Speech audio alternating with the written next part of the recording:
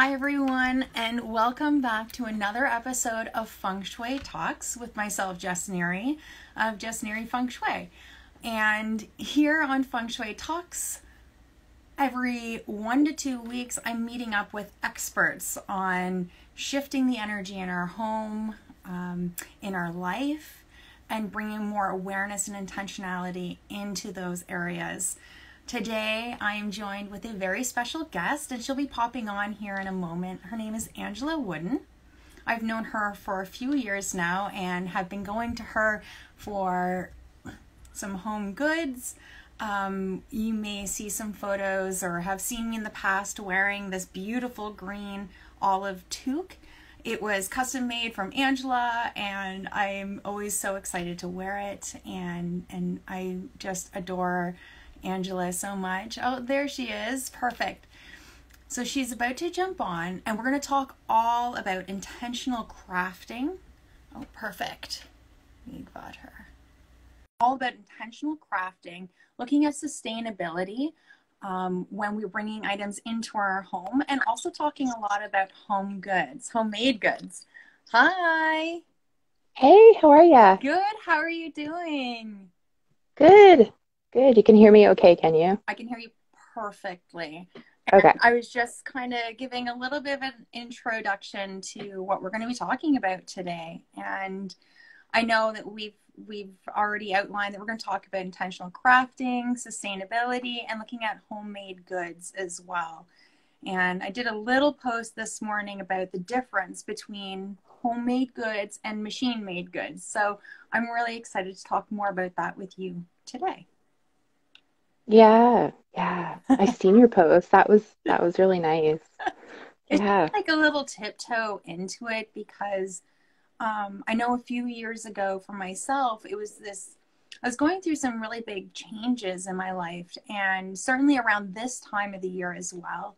And looking at bringing more love, joy, in in in that into my home and into our lives, of, of course, as well. And knowing that our home space is a reflection of who we are and where we're at on our journey, um, I began making some changes. So had many more man-made or machine-made items in our home, and um, and really bringing those items in at the time, it just wasn't in alignment with where I was going in my life. So um, I'd love if you wanted to give a little brief introduction to yourself and, and what you do, and then we can get right into the talk.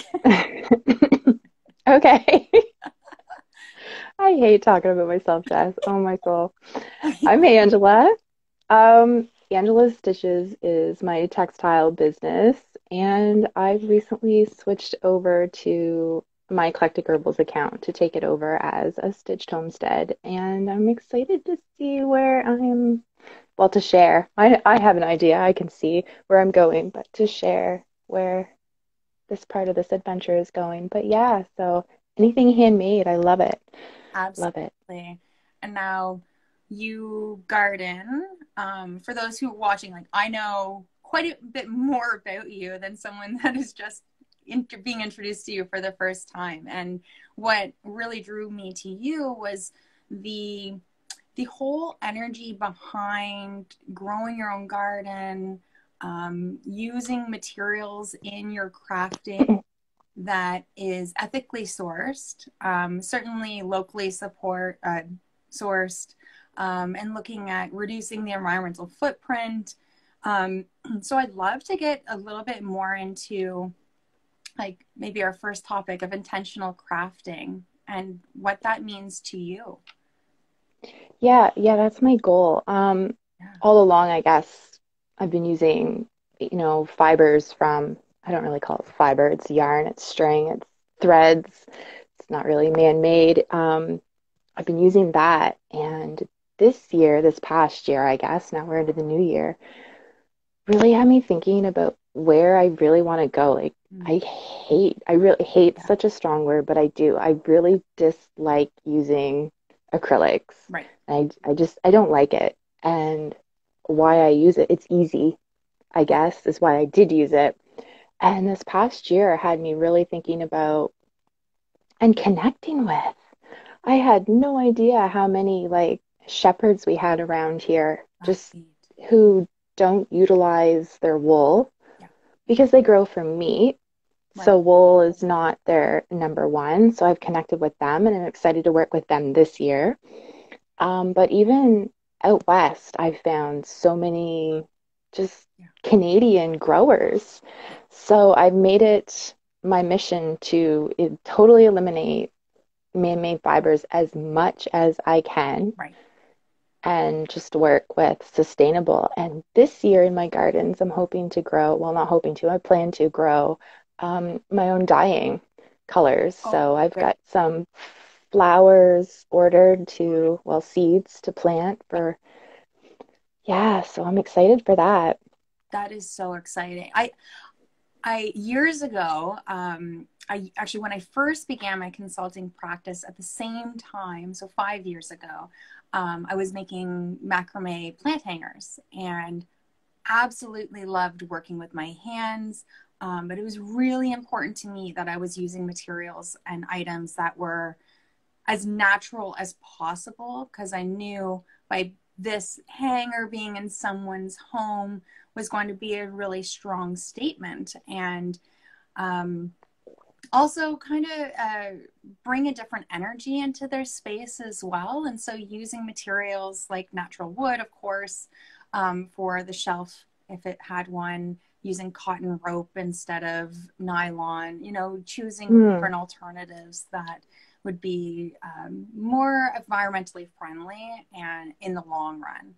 And dyeing the, the macrame cord with natural dyes was kind of like the next process or like the next step in my evolution in that that world. So I'm absolutely fascinated by the natural dyes. Yeah, I'm excited to get started with that. I don't know. We'll see how well I do. Yeah.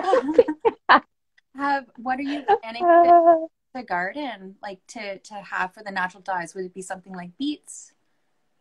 Um, I know yeah, anything and everything that I can use. Yarrow, um, Yarrow. hmm yarrow, uh, woad, woad, woad. I don't really know how you say it properly, but it's blue. It's like indigo. Oh, Um, cool, cool. Yellow. Oh, what did I get? It's a chamomile. It's a type of chamomile, Dyer's chamomile or something like that. So I'm going to try that. Um, different barks. Cedar will give you yellow, I guess. So I'm just, I think I'm going to just wing it a little bit. We'll see. We'll see. I just hope I don't ruin anything. Test it on like uh, little scraps or something. Little scraps. Oh, yeah, for sure. Um, and I've heard about using is it avocado pits and their skins as well. Yeah, What color yeah. does that create? Do you do you remember? Like pink, like a Pink. pink color. Yeah. Well, it different shades of pink. that is so cool.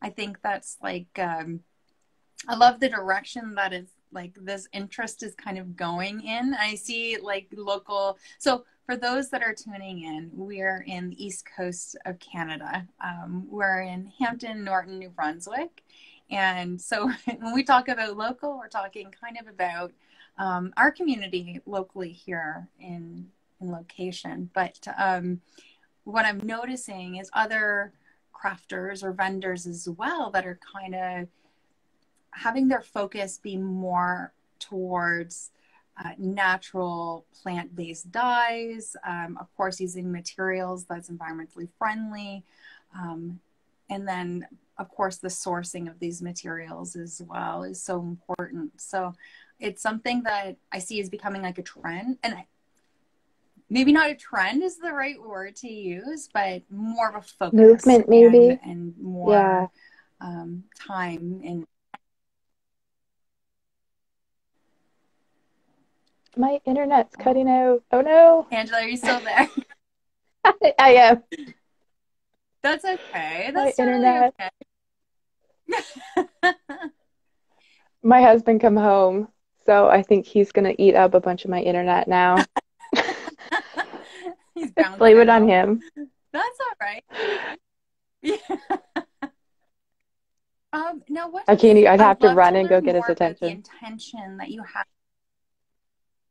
Okay, yeah, I know, cool. Um, yeah, if you're still here, I'd love to learn more about the intention that you have behind your crafts too.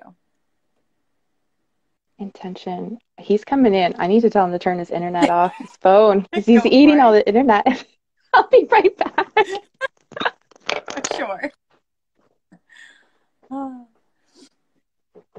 So for for those that may be jumping on, um, we're talking all about intentional crafting, sustainability, and also looking at homemade goods versus machine made goods and the difference. And uh, talking a lot about bringing that intention into our home space, but also it's through all those items that we bring in that's going to fuel that intention that we have for space and for a home. There. I hope that'll work. Welcome back. Yeah. Rural internet is yeah, so, so awesome. it's like I think uh, where you live is so beautiful because you're in a way disconnected from like Wi-Fi and a lot, lot of that um, electricity or electrical output, and you get to have that uh, solitude, like out in gardening, and it's a little more quiet out in the country. But then, of course, when we're connecting in a virtual platform, it's just it just comes with it, right? It, oh yeah, yeah. This is awful. Um, last year, working off when everybody was home, like you could tell who, how many of us in the area, or and even after school when the kids get home when everybody was going to school every day four o'clock comes there's like the internet would just slow down or it'd be just cut out so bad it's awful. Right. And even in the house when we're all connected to it and trying to do videos we can't it's like who's who's who's watching what? We got to turn it it's bad. Oh well one way to keep you off of it, though, I guess. Yeah, that's true too. Manage the the capacity there. Absolutely. um, I was curious to know what your intentions were behind your crafting. Intentions? How how do you mean? like intentions? Mm. How so?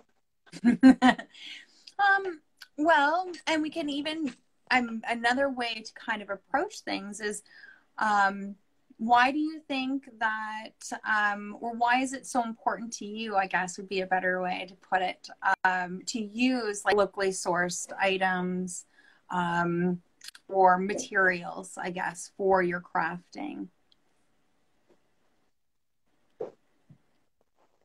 Um connect just just having it natural just the connection just the being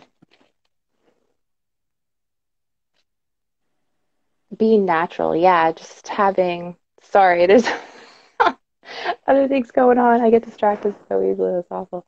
Um the intention behind my work just moving towards so i garden as everybody knows and herbalism too is another part of it. So it doesn't align mm. when you're using man-made fibers. It just doesn't. I guess, like I said before, it just doesn't sit well. So using yarn that's made from wool or alpaca, hemp, linen, flax, cotton, silk, just things that are sustainably sustainably sourced and made and looked after is brings more meaning mm-hmm. behind into yeah. what I'm making. You know what I mean? Like it's yeah, I absolutely yeah, I absolutely know mean. Yeah, yeah, it feels. Um, I know for for myself, it feels good. Like it feels more, and I think yeah. use the perfect word that mind. Yeah, and a lot of times I look at it as um, an alignment too to like what we're feeling kind of in our heart, but also in our gut too. You know, what's feeling the most um, connected to who we are and what we're here to share with the world. So I think that's definitely why I've connected with yourself and continue to, is because I see that you have this really strong positive intention behind everything that you've done. So, or do. oh, well, thank you. Thank you. And moving towards, yeah, just 100% natural. And it's, I don't mm. know. I keep thinking, am I doing, is it going to be hard? But it's not. And when we, I, I wrote this down here, I've got notes, or I'm going to be like, but anyway, um, when we engage Perfect. in our craft in a meaningful way that brings comfort to our soul and joy in our lives, and that's when the magic happens. And if we in a way that's like that, you're going to feel that, I think. Like you're going to know if we're not enjoying what we're the materials we're working with, the textures that we're creating, the colors, all of that, you're going to feel that. You're going to know when you pick it up or even when you look at it, you're going to know this is not this wasn't intentionally crafted or they are not enjoying what they're making. Like they're really not. And I think those who you see who succeed well in the handmade, handcrafted industry, industry, I guess we'll call it, um, the ones that mm-hmm. succeed are the ones who, true, like, you know what I mean? Like you can feel yep. them in it. Yeah. Like when you purchase a piece and it arrives in the mail and you open it up and it's just automatic, like, whew, you can you mm-hmm. can almost like feel them right there because they've put yeah. themselves and there is there's a piece of me in everything that i make and you take that into your home right so yeah whether i'm yeah. whether we're making for your something for you to wear or something for you to like tables or chairs or anything like that that's crafted jewelry you wear you carry that mm-hmm. energy with you yeah yeah, yeah. Absolutely. Those are the ones that you got the other oh day, oh is gosh. it? I love that you say that because on the weekend I had just gotten a pair of earrings. These ones I got the other day. Oh, that's so funny. I messaged Krista. Yes, Krista from um, All the Pretties. And oh, I said, yeah, I opened the box and there were two pairs of earrings, one for myself and one for my daughter. And I opened the box and I almost started crying. It was just like this outpour of love, and I made sure to send a really special like thank you because I think it um, it is so wonderful when you're able to connect with others who are so passionate about what they do and right, and they put their heart into their crafting. So yeah. I I was before you had come on, I was talking a little bit about the toque that I had gotten from yourself as well, that um, I had asked to have custom made, and I'm wearing it almost almost every day. Not every day. I am outside. Oh, are you? yeah, and it oh, just oh, awesome. it fits perfect. It just feels so good. Um, and and this is it too. Is when you're working with crafters like yourself, you're able to. I mean, be involved, I guess, in the creation of it as well. And I, I find that to be such a beautiful, beautiful thing. And even if that's just, you know, literally going to a store and finding a piece that you've made as well, it's like, um, yeah, it feels like there's this connection there, which is really nice. Yeah. Oh, thank you. Yeah. Um, and your hat, it will soften up over time. And that's the thing that I love about wool is it and I pre-wash everything before it leaves the house. But um, over time, it will soften up and work in and fill in, and it's made to last. And if it gets a little snag in it, mend it, wear it, pass it on. And that's another thing about handmade items too is they're made to last. They're made to be passed on and sent down the line and not and repaired, not oh it's broke, let's toss it away. That's right. Which is all part of the yeah. sustainability yeah, of it too. Big so part of yeah.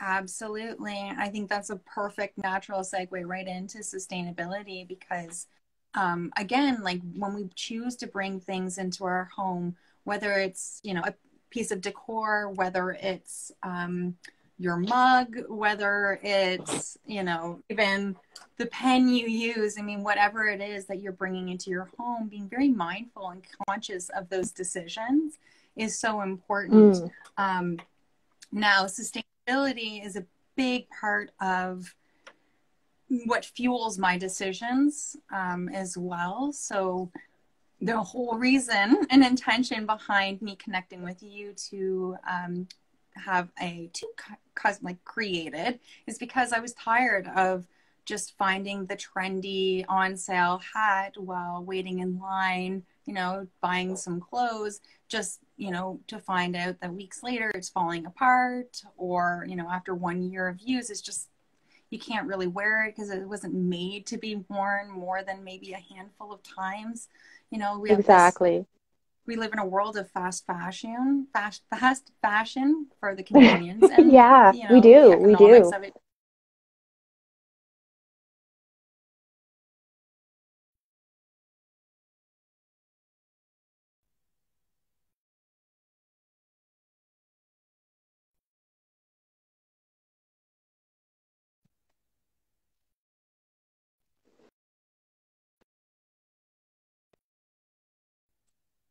I don't know if you can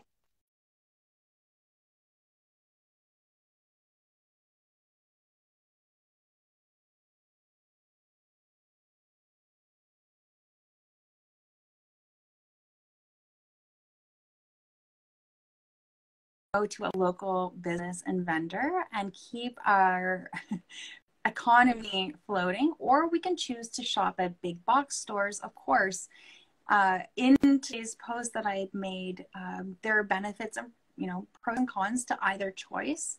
Um, but being aware that there is this choice and making a decision with this newfound awareness is going to be really empowering, very supportive, and puts you in that driver's seat. So, thank you so much. I unfortunately, Angela had to pop off.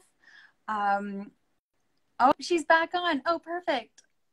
Angela we can bring Angela back on before before we sign out. That would be fantastic. As I was mentioning, we're both in the country, so connection is maybe a little times too, but that's totally cool. Oh, hey, you're back! Bad. Yay! I'm here. I was just saying, I was just oh. saying too. We're we're at the end of Mercury retrograde, and I'm not sure if you follow astrology a whole lot, but uh, now in Mercury's direct. However, we're still in the shadow effects of it. So, I mean, eh, technical glitches is just part of part of being in a virtual community. Part of. yeah. I could hear a little bits of you, and it was just I was just I paused, and then I could hear you a little bit, and I was like, "No, what's going on?" I was just hoping oh, that I was dear. kept going. I wasn't sure what what is seen or or viewed from the other the other side of the the screen but that's that's totally cool. Um oh, i love we talked about sustainability we talked about intentional crafting. Um, i know we really want to talk about handmade goods and we've we've totally been covering bits and pieces of that. Is there anything else you'd like to add when it comes to including homemade goods in our home um, versus maybe machine made goods? Homemade's better. It's always better. It's always, I say that. That's a biased. That's so biased, right? Everything has its place. but yeah. yeah. Um, a lot of it is if you, it comes down to really knowing your source, I think. Um, whether you're a maker, consumer, I think um, in the world of fast fashion and fast making, I think it comes down to really looking into where you're purchasing from, and especially if it's a big box store, and really kind of knowing where they're sourcing from, where their plants are, where their mills are, where are they working, what are they doing to the environment where they are, and not just what they're doing in a sense that's bad, but what are they doing to help to help. because once you get into looking into um, a fashion, I guess is more mm. what I pay attention to because that's more the my skill sets more geared towards handmade wearable items. So um, once you get into looking to where your fiber is made, where your main fibers are made, and the dyeing processes and stuff like that, it's bad. It's really bad. Like it is not good. it's just not. And once you get into paying attention to where all of that comes from, the runoff, what is deemed okay mm-hmm. and safe for everybody who lives wherever, it's, I'm not just going to pick one place and because it's just, I could say, but I'm just not going to be like this place or that place. But, anyways, once you get into looking into that, yeah, and really see mm. what goes into yeah. making your the clothes. Transparency of, of yeah. yeah, yeah, and um, there's a few big companies that are supposed to be transparent, and they say they're helping, but once you get into looking, they're not as awesome as they say they are. It's just for what's still allowed. It's it's sad, but yeah, and for handmade is like it's local. And when you're supporting local, you're supporting, you really are supporting local. Like when you buy from me, the money goes to me, to my family, and, you know, it helps pay bills, helps feed us. And most of what I buy for groceries still is local. Like I'm still supporting local growers, local butchers, local. It's still local as much as I can.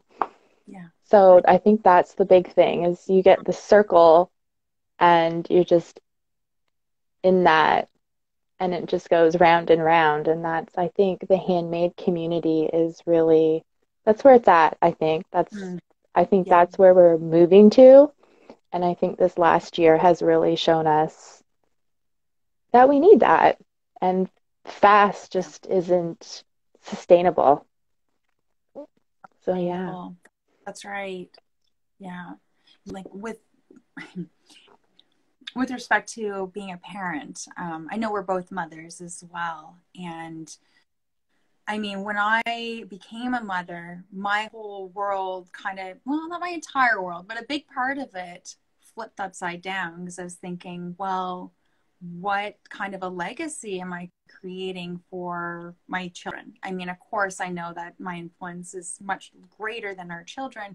However, I think that is so important for the next generation to be aware of the transparencies and being aware of what they value or what is a value system that we are aligned with. And and i was mentioning that too a moment ago when you were popped off that you know our dollar is extremely valuable. And you know you hear the term used in the past or the phrase that you know our dollar is the vote. And a lot of times you know in a political system we may not feel like we're heard um, or or supported maybe in certain ways but when we're buying and choosing to consciously bring in items to our space that's benefiting our community, um, a local business, like you like the it it just you're fueling and um, bring that prosperity into the community. It's not just about retrieving an item into your home and having it. Yeah, it's, it's so much that. So much more than that. Yeah, it is. Yeah, it really, really is. And you feel that. Everybody feels mm-hmm. that. Yeah. Yeah. I had a question actually from a client um, when we were looking at materials for certain items that we wanted to bring into her, her her space, and she had asked the question, "Well, should I go plastic or should I go natural material?" And it was so beautiful because in that moment I said, "What do you think? What feels good to you?" it was very obvious um, very obvious yeah. what felt best for her. And so we worked, we worked through that. But, you know, when we're creating our space, when we're creating our home, when we're creating a life, essentially, it's all about looking at what feels aligned, what feels good um, to yourself, not what's being told to you, Mhm. of course, but deep down, like what feels right to you, what feels Right. aligned, and and trust that and going with that and seeing the value in it. Yeah, absolutely. Yeah, because everywhere as we go, Yeah. it's the advertisements, everything is like boom, Yeah. boom, boom, buy it now and throw it out later and buy new and buy bigger and buy better. And you can't, where's that get us, right? So, yeah, again, bringing the sustainability is like where how is that yeah, sustainable, right? Yeah, yeah. yeah. So Short term very, and long term. Yeah, absolutely. I mean, our dollar goes a far or can go a very far way. And especially when we bring our intention into where we're choosing to place our dollar, um, super, super important at creating that sustainability. Uh, even for our own personal energy, you know, in our home, if we're constantly surrounded by plastic things, which you know, I, to be fair, I mean, there's a lot of plastic from where I'm sitting. Um, there's also a lot of items too that aren't plastic um, and that are Yeah, bigger items that kind of I was able to make those conscious decisions to bring in more of that um, aligned choices, if you will. So yeah. And it's just going to be about, things in our house. oh, it's going to be balanced too, because we're not in a society where we can just drop all the hmm plastic and, you know, True. away we go to using coconut bowls or whatever. Like that's, or bamboo. Like Right. that's just what comes to mind. But And we, we I can't just, there. I'm trying to find cutlery that's sustainable. It just I haven't seen it yet. just waiting, waiting for the bamboo plates for the kids. yeah. what did I see? Somebody was making uh, cutlery out of avocado pits. Is that right? I think. Oh, I'll just see if I can find that again and I'll send it to you. But I'm pretty sure Yeah, that's what we seen. And I thought that is the coolest thing ever. I don't know how long they last, but Who I don't know. We're in such an innovative an innovative time too. Like for those who are watching who maybe have ideas of ways to really start a business that is more aligned to themselves, aligned to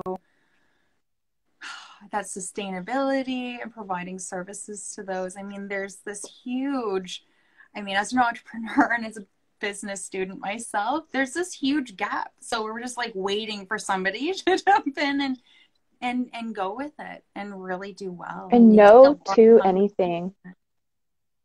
Yeah, and no to anything is ever the same. I think we can get stuck in the, Yeah, oh, he's already making that or she's already doing that. Yes, they are, but not how you will do it. Like, absolutely. There's just Yes. not. And there's so much. They're like, we can upcycle, we can downcycle, recycle, we can, you know, connect with your hmm local Bobby. anybody. And Yeah. yeah, and that's another thing about wool. Like your wool hat, when it gets to end of life, Mhm. well, even that wooden tag, you can, you know, take it out back and put it in the garden and it will decompose. So, I mean, at the end of life cycle of natural made items, Yeah. Oh, I love that or take the apart, idea for me, yeah, absolutely. I think that's so great to know and think of as well, especially um, like within the week, we're going to be going into full moon energy, which is all about letting go. A big part of that is decluttering. And this is where it's interesting because when we're looking at clearing clutter from our homes and our lives, oftentimes those plastic items we look at and we're like, what do we do with these? I don't want to put it in the garbage and just have it sitting in a landfill somewhere for eternity because it just doesn't yeah, decompose. Yeah. So that is a huge, huge part also in the whole decision behind what is coming into our home where we choose to spend our, our money and, and time and energy, really. Yeah. mm, Yeah. mm. Well, thank you so much for coming on, Angela. It was so great. And I'm glad too that it worked out in the end. We were able to Uh, I know. Sorry. Oh, it's awful.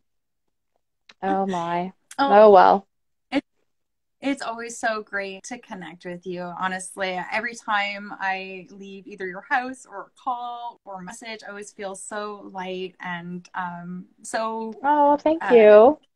Connected. Yeah, I feel really good knowing that you've got, you know, a lot of checks in place with what you're doing. And so when I go to you to purchase something, then I know that I'm taken care of. So, and that is a really important part for myself too. So, Oh, well, thank you. See, and that's nice to hear because that means that tells me that I'm I'm doing something right. Obviously, I must be if I'm getting this feedback. So thank you. Thank you. Yeah. Yeah. Well, and I know that your work is being recognized too in in our community, but in a large scale as well with the new NB box. So this is great. And I think that it's such an important conversation to have um, to really share this information because there are so many people out there that are looking for more sustainable options. Mm. And um, so need to know who to go to. and there's, yeah, yeah. And I hope to, um, in the coming months, compile a list of locals who make, create, cook and yeah and put that together and have that on my website so that people can connect locally because i had a conversation recently with somebody and she said please it'd be nice to know who's like really local and i was listing off yeah. a bunch of people and she was like really it's like yeah there's like if you don't look for it you don't know you know so yeah our markets are a great place to connect but that's Right. Not everybody can get to a market. So, and I mean, and that's great but I think, yeah, I think the circular living, I think we need to we need to know more who's in our community. Yeah, to support. But mm. yeah, definitely. Yeah, giving a voice really to these artisans and crafters that are creating such beautiful pieces. Yeah. I yeah. and I absolutely adore the website as well. So I think that would be like the perfect place. I know for me to go there and be like, I know where to go. A stitched homestead yeah. or Angela.ca and and I I can again be taken care of. And yeah, I think again there's that demand and that desire from a lot these like a lot of individuals who are kind of picking up that you know they want to make a change and and put their dollar into places that's uh, again sustainable. Yeah. it's a, a, great investment. It's a huge investment in ourselves but in the community. I still like i stress that so much because um, again it's just keeping keeping everything local and supporting our whole community as we all kind of rise up and, and succeed. So it's it's super yeah. super important but yeah. It is Awesome. Well, thank, thank you, so, so much, much Jess. Yes. All right. Thank you, everyone, for joining us as well. If you're watching the replay, please give us a love. Um, drop some comments if you have any questions. If anything in the in in this whole conversation really feels good to you and aligns with you, we'd love to hear it. And of course, if you have any questions, you can always contact Angela at A Stitched Home or myself, Jess, at Jess Neary Feng Shui. Thank you, everyone, and I'll see you next time. Bye. Bye.